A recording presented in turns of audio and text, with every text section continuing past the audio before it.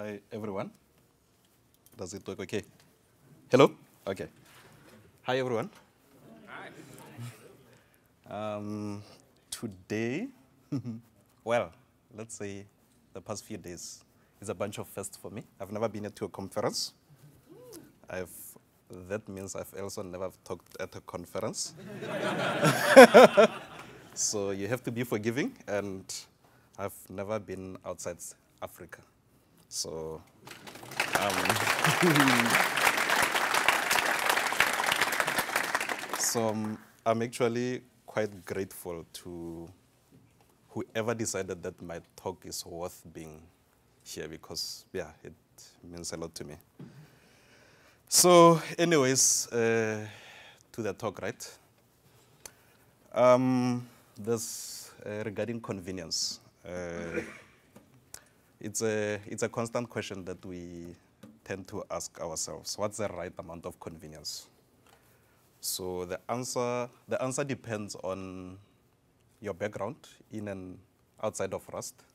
So I mean, people, people can adapt, but it's complicated by the, the trying to say please those, all of those, the people with all those backgrounds, like people but people brand new to the language, people have never programmed before. You know this thing that the people who, there's people who try to do Rust as a first. Actually, I'd like to meet people like that, what their experiences are like. I, I should, it's quite, it's quite interesting. Somebody who's never programmed before and then they go for Rust, which I find complicated. And I've been programming for a while, so it's like, wow. who, any, anybody who's used Rust as a first time programming language in the room? Ah, cool, man. we should. I'd like to. that's, that's cool. That's cool. Okay.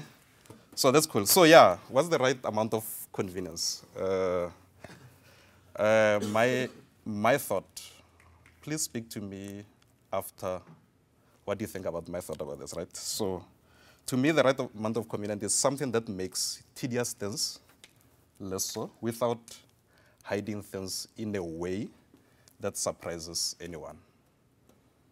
So to me, that's the right amount of convenience. I don't know. I'm, I'm sure there's people who've thought a lot more about this problem than me, so it'd be cool, actually.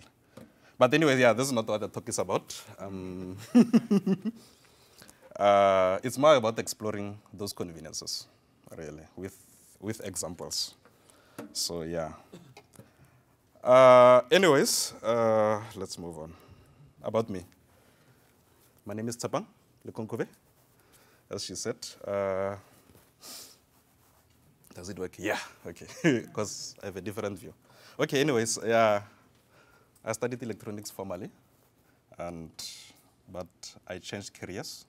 Actually, one of the happiest days of my life is I applied for a software job. I used to be an electronic technician. I used to work for a defense company. And what we used to build is surveillance systems, uh, surveillance systems that you mount on aircrafts. So I was at the end of the production line where I actually testing it.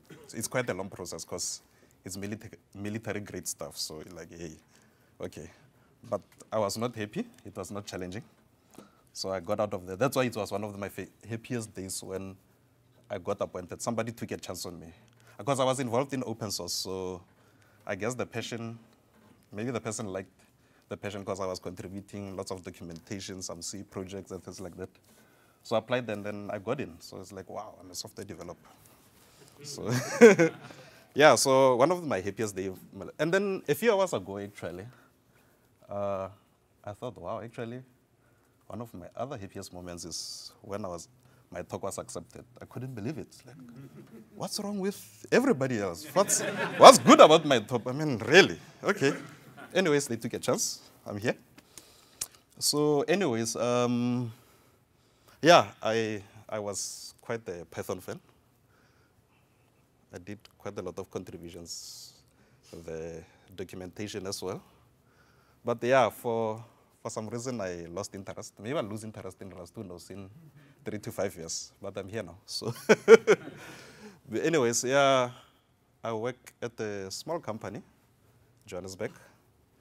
Mm, there's not a lot of Rust in Johannesburg. And my boss, my boss looked around. Well, yeah, he lives in Johannesburg. And yeah, because there isn't a lot, he noticed me and then contacted me. And he gave, gave me a project that I did. Well, it's not really running in production for whatever reason. But anyways, yeah, he, he took a chance on me and then he got me hired. And yeah, anyways. um, yeah, okay. Let's move on. Sorry, what did I miss anyways? Oh yeah, well, that's my Twitter handle. Okay, um, back to the talk for real now. Okay, let's talk about looping. Let's say we want something that produces this sophisticated output. um, there are options. There's many ways to do things in Rust, right?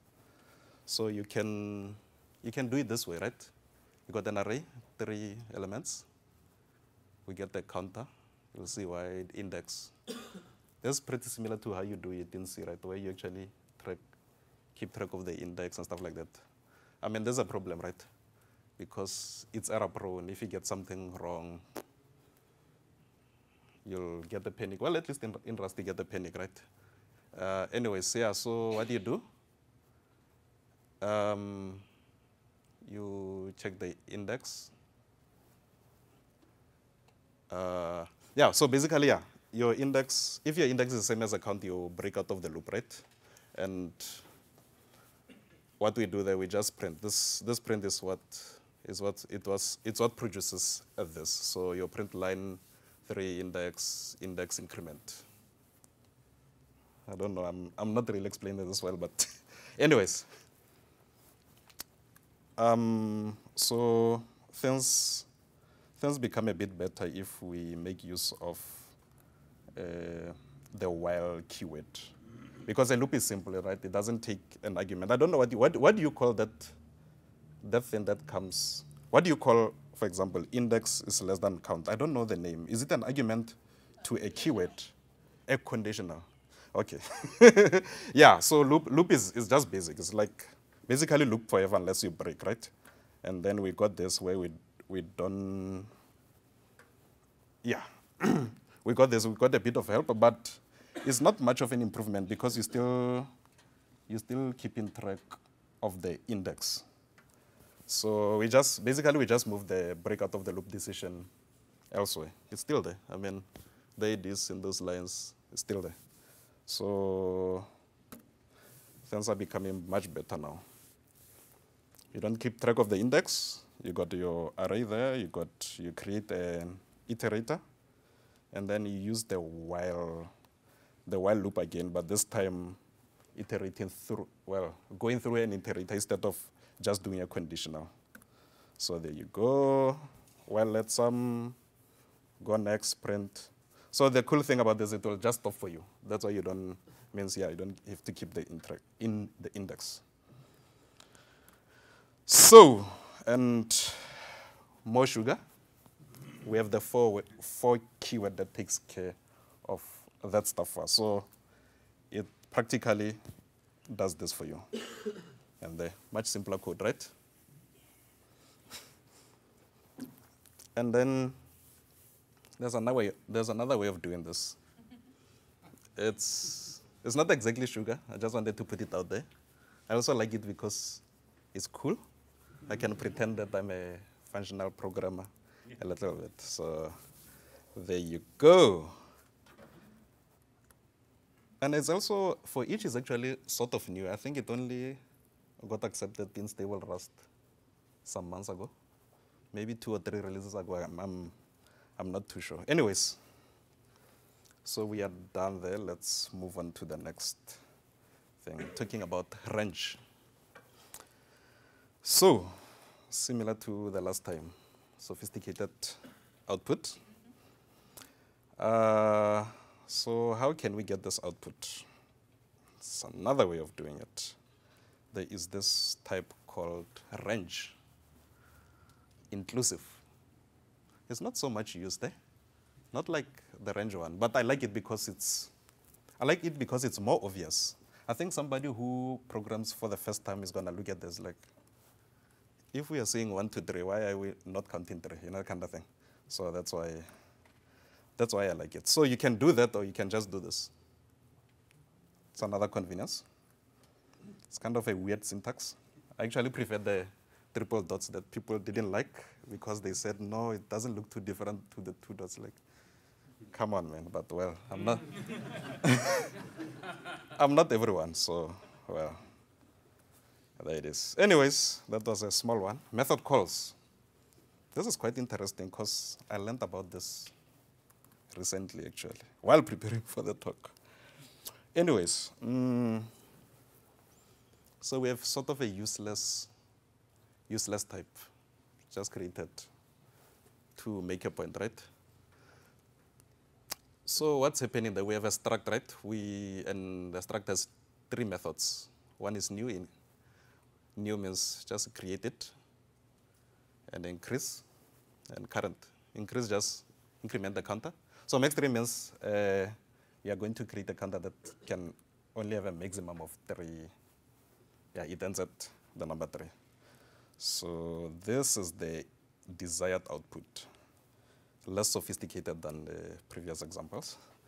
So yeah, on the left there, you see there's two columns actually. On the left there is the, is the loop counter. So you can see first loop is zero, one, two, three, four, goes on like that, right? So how do we, how do we implement that? We can do it this way. So remember one of our three methods, new. We create an instance of this type, this max3 type, and then we use that weird syntax. We're gonna count to from zero to four. That means that's five iter, yeah, that's five iterations, right? So what you do, you take the type, you increase. yeah, for each for each loop, basically, yeah, you're going to increase this uh, this type of, of ours and yeah, there's, that's where you do the prints on the loop there, and then, yeah, so basically, yeah, you have, it would actually be nice to have a laser thing, right? Uh, Does so, anyone have a laser thing? yeah? Um, I, I, have one actually, now I think about it. Okay. Okay, cool. so anyways, so yeah, you, so you see that, should I call it a template or whatever? So yeah, you're gonna loop there. So basically, yeah, say you take the first, the first iteration there. Press the green button. Imagine that, right?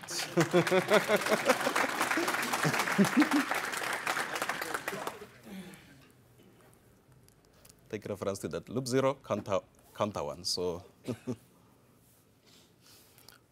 so what happens there? We increase, and then we print that, so that's gonna go in there. basically. Don't know what the correct term is. Interpolation, string interpolation, I think, and then basically we print the debug form of the output that we get from here, and that's that's what you get. So so you get one, two, three, and then when it gets to three, it just stops because oh, I pressed the wrong thing. It's just up there because it's not allowed to get three. Next three.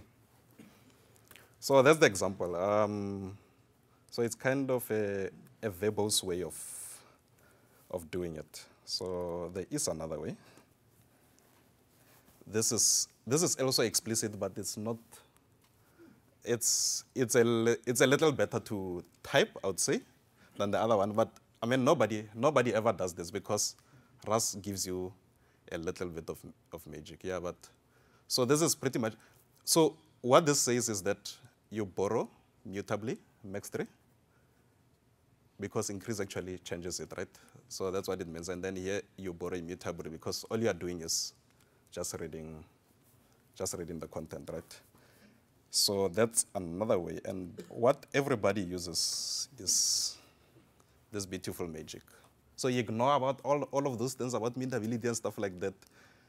But it would be good to know in the back of your mind what is actually happening, which is one of my motivations for the talk because I actually wanted to know.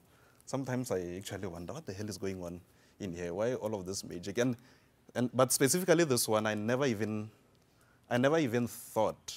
You just see syntax, but you don't you don't quite get it. But if you know what's go- going on underneath, I hope I make sense.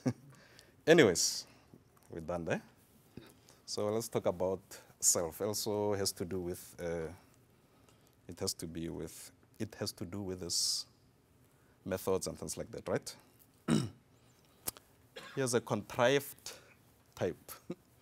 Another one. you'll, you'll notice that distance are functionally the same, but they look a little bit different there and there. What you'll normally see in Rust code is, is this, but this is actually what is happening under the hood. because you'll, you'll see that with, with every other methods, you must actually, you must actually have a binding, eh, well, a variable. What's the difference between a variable binding and a binding, anyways? Yeah, you'll have a you'll have a binding itself, and then you'll have a type, right?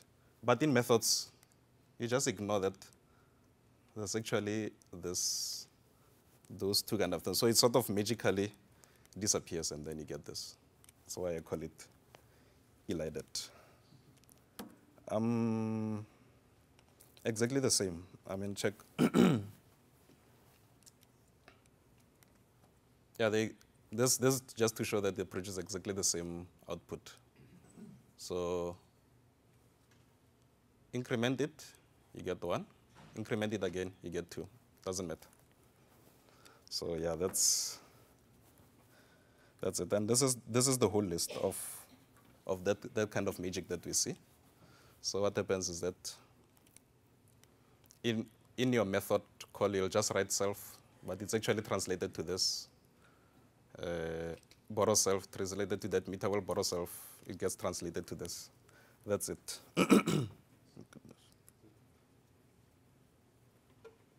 cool. so we're done there. So this is a short one, arithmetic shorthands. This is really to help you not type as much as you otherwise would. So there we go.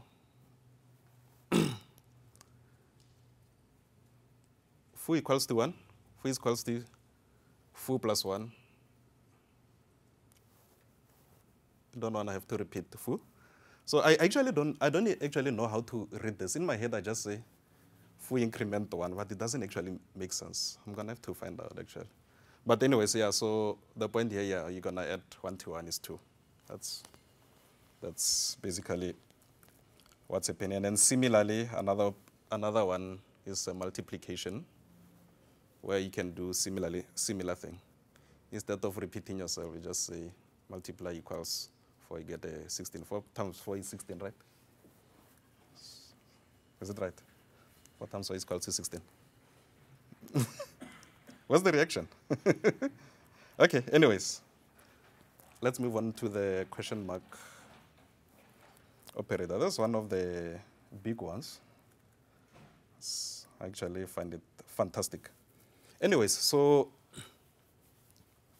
if you are handling errors, so you can you can either have that syntax or that syntax. I mean, which one looks better, really? so actually somebody somebody did mention that he, they wish that Rust had a called a Rails, sort of a Rails mode for beginning people, so that you can, whenever you read code like this, you can actually translate it and then it shows you the raw kind of stuff. There is actually an option in when you use rustc. Uh, I actually forgot the options, like, but it's it produces H- HIR, which is human. What? Or high level intermediate representation. Just find out uh, how to actually do it. But the output is actually quite ugly. But this is, yeah, no, yeah, it's, yo, actually, maybe it's not too hard to make it beautiful, right? It's, a, it's an idea for an improvement to Rust. Anyways, um, so basically, it's going to take this and produce this for you. That's that's what it is. So be, because I mean, a new person is gonna look at this like, what the hell is that now? That's a new, that's a new operator, and then you actually want to. It's like at the beginning you want to see what's happening. Sometimes you want to suffer a little bit so that you can appreciate the conveniences. So suffering means typing all of this because this really gets gets tedious, eh? And yeah, so like in this example, I mean, this things it's it's boilerplate really, right? So what you do here, you read. It's also it's it's really contrived because there's a much better way of doing this, but it's just to illustrate. So this guy takes takes this text file, and then there's there's errors. I mean, there's a whole bunch of errors that can happen with I/O, right? So it reads the, this guy um, into this variable, and then later on, because what we actually get is actually bytes.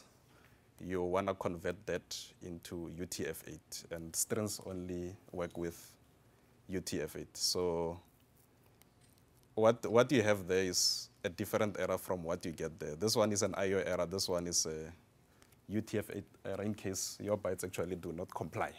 They're not, yeah, they're not actually Unicode. So by the way, what's happening here, there is something that I must still figure out. I wanted to, to do something that compiles. So basically, when, I, when, I, when I'm doing my testing, I return, I actually return a box. I, re, I return a result with a box error so that any, any error can be handled. So you, just to, to be convenient, so I can do all of this in one function instead of separate functions. But anyways, uh, so, so writing all of this basically equivalent to this. So you read your string, and then you convert to UTF-8. So that's your error handling, that's your error handling. That's a convenience. Yeah, anyways, there's something to do this. It's read to string. It's available in the standard library. So don't do it this way, just for illustration. so, anyways, moving on.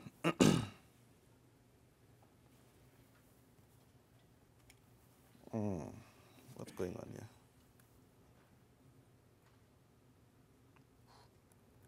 Something's not aligning here.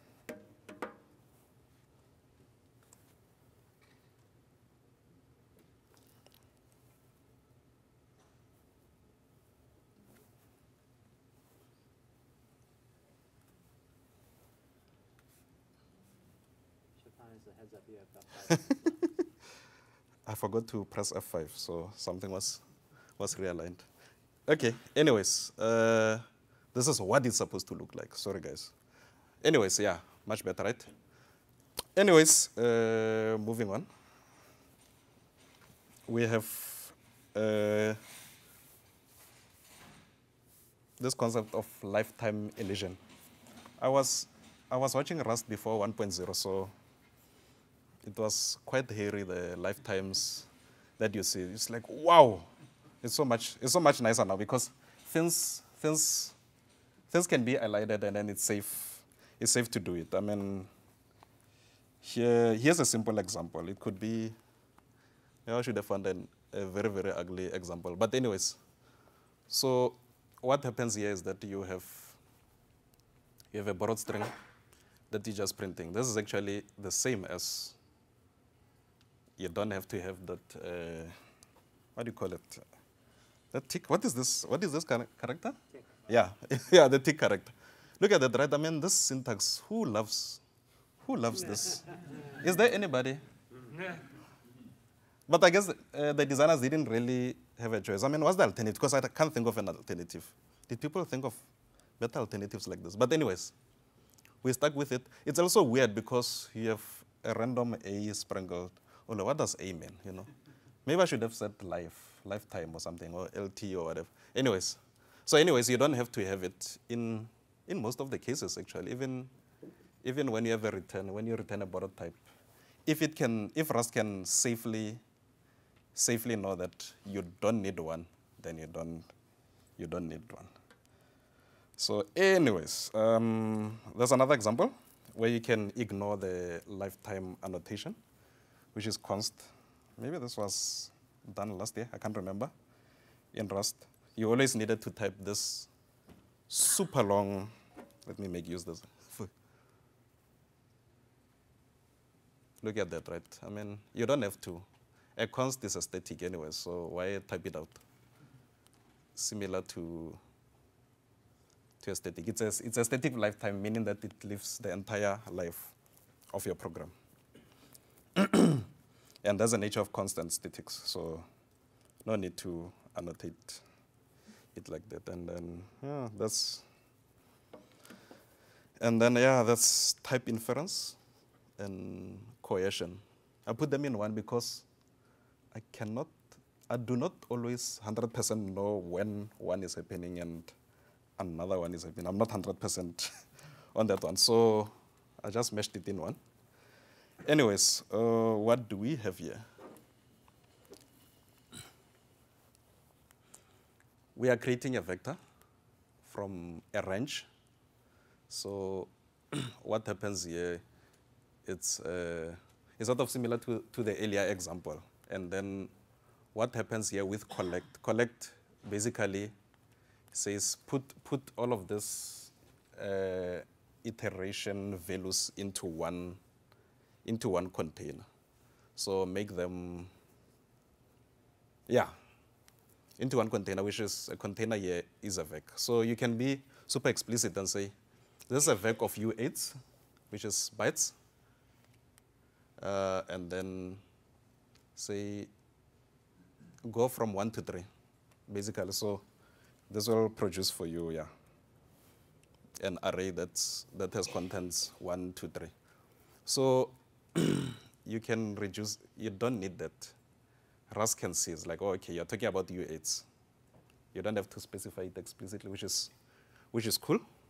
Most of the time, this works because because it can be inferred what you're talking about. And even less, I mean, if one of the items is of a specific type, then it's going to be inferred that the rest is inferred or coerced. So I don't know. Uh, or you can just fall back to int type. Uh, this thing, there was actually some discussion about this where people didn't want integer fallbacks. You have to be explicit about everything and stuff like that. And then some cool people decided, you know what, you can fall back. There's a lot of times where you don't care the exact size, the exact size of your integers. And then i32 is a safe default. So what that means is that that's, that's i32, and that's i32, that's i32. Tshepang, your time is up. Could you spend like 30 seconds wrapping up, please? Oh, already? My goodness. Woo. Damn, okay. Ah, my goodness. what do I skip? Okay. Um, yes, okay, there's some, there's some weirdness happening there. Ah, but I only have 30 seconds or 20 seconds. Anyways, um, let me move through quickly. I don't know what to skip, what to talk about. Okay. Um, I'll just let me just move a little bit fast on this. Um, 30 seconds. 30 seconds. Oh my goodness. Okay. Um, yeah, there was a bunch of examples. There's a derive. There's a derive, for example, where I talked about. Um, derive is basically sort of code insertions like macros, where you want to avoid the tedium of um, of typing everything out. For example, I mean, look at this example. If you want to do a debug print of of something, you you could do this. I mean, look at all of that. Where you say, I'm going to print point, and then one of the field is y, and one field is y, another one is x, just so that you can get this this output, or you can just use derive debug. It's one convenience. So there's another one, derive coercions, which we are skipping. And then there is uh, if let, oh my goodness, pretty imports. I mean, look at this, right? I mean, look at that and then compare it to this. Yeah, no. I mean, anyways, okay. Sorry for being bad with time. And Mm. Okay. okay.